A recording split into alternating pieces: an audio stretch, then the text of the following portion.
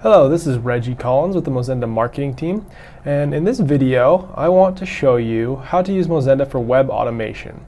Um, the, the, purpose of this video is to, is to help you, the Mozenda user, understand that you can use Mozenda to automate a lot of your processes that you have um, within your company.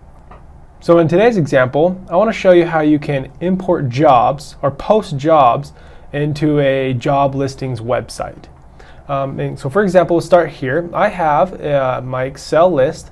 Here I have a, a list of um, a bunch of different jobs. So I have my job title, um, I have the company name, I have the job description, I have the zip code, um, the salary, and then the email that's associated with that. So I have that list of, of these jobs that I want to post on, on this website.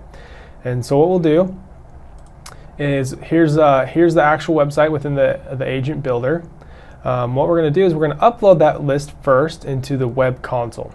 So let me go and pull the web console. Um, and we're going to go to collections.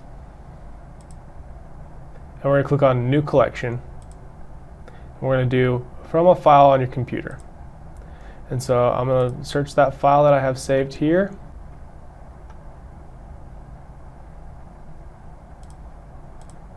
And we will import that. You'll see all of my titles there and click create collection. All right, now I have this collection and it's ready to be used in my agent builder. So let's go ahead and start our agent. All right, so here's this website I have that just posts, um, allows you to post job listings onto it. So I'm gonna click start a new agent from this page. And first thing I'm going to do is I'm going to import that list. Now you can import that list manually into the collections or you can do it from here as well. Um, since I already have it in my collections, I'm just going to load the input list um, from my collection file. Like I said, you can import it from your computer if you have not put it in your collection already. And so I'm going to go find my in my collection, my input list, which is job postings, and click OK. All right, and so if I double click on this here, I can now see my list that I've imported into this collection. And what I'm going to do is I want the, this information under job title to go into the website. And so rather than manually coming on this website and typing in social media uh, manager, typing in the company name, the description, uh, the zip code, and the salary for each person, I can just create one agent to do it all for me. So what we'll do here is I'm going to just click on the job title. It's going to prompt me, Mozenda will prompt me to do a set user input, which I want to do. And I will do percent job title percent and click create action.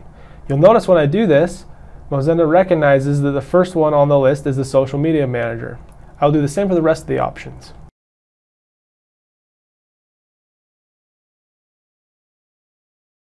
So you'll see now that I have parameters indicating and telling the agent builder which column or section of the input list it should take and enter into each section of my website. Now that I have all that information in, I can add a click item to finish my agent. Now, when I run this agent, it'll go through this list, importing all the information I need for me without me having to manually do this. Let's go ahead and test this agent.